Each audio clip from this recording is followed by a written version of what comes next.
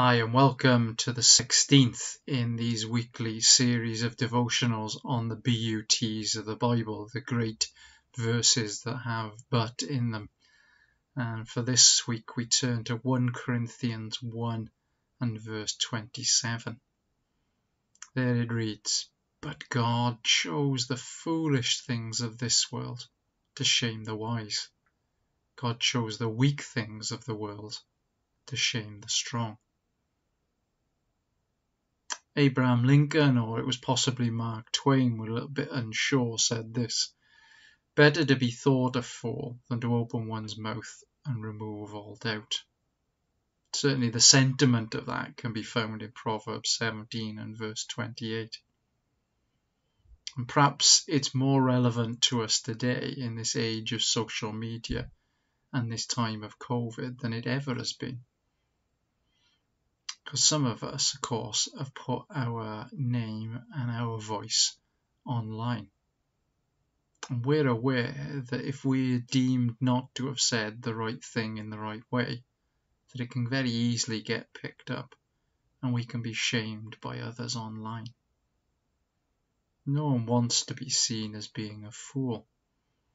Although I did know of one couple on their wedding who chose the old hymn dear Lord and Father of mankind. Unfortunately, the second line of that hymn reads, Forgive our foolish ways.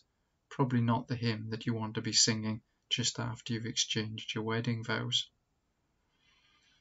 Paul, in this letter to one of the early churches, wants to remind the believers that few of them were well educated or powerful or came from privileged backgrounds but God chose them to be his followers.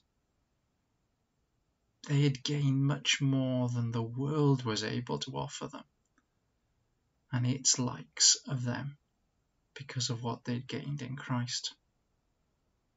Jesus came to show us that things that the world may say are foolish, like dying for your enemies, or weakness, like serving others ahead of yourselves, are in fact the radical way of living God's way.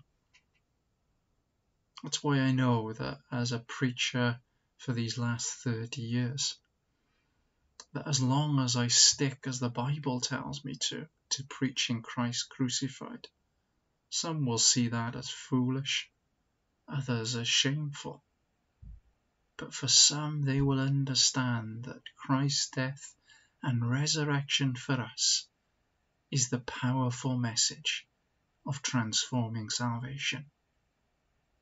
So surely that's worth telling others about, even if some of them won't particularly like it. When I was a rugby chaplain, I used to go and train with the players at the club once a week. The club was semi professional, and one season we had a full-time professional come down to play for us. He was coming to the end of his career, just wanting to go into coaching, so came down. And I think really fancied himself as being the star in the team. Now all the players around me were all better than I was, fitter than I was, stronger than I was. And so often they could make me look very foolish in training. But one of the things I did try and do was just to keep going all the time. Show a willingness to be involved. So one of the things I often used to do was try and charge down the kick as the kicker was getting it away.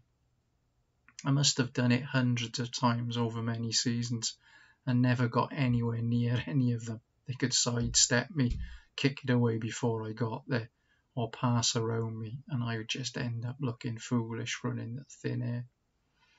But this particular occasion with this particular player, he seemed to just hang on to the ball forever. And I got closer and closer to him. When eventually he tried to kick it away, I charged it down.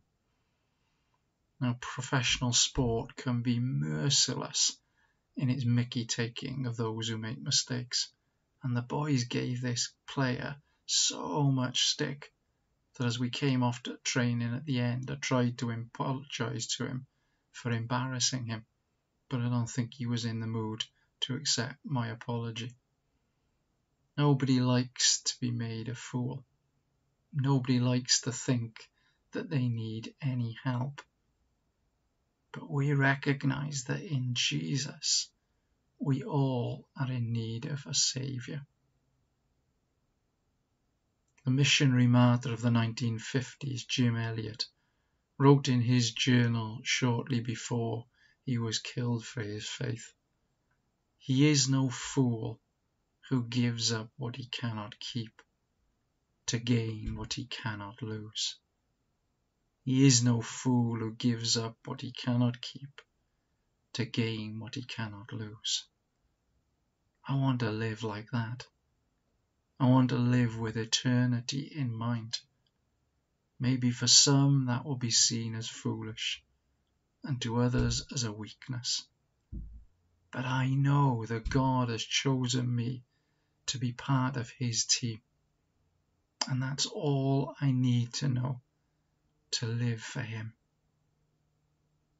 I wonder whether you think and believe that for you. What would you give up to serve Jesus this week?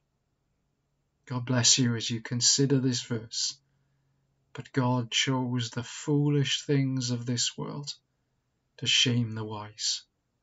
God chose the weak things of this world to shame the strong.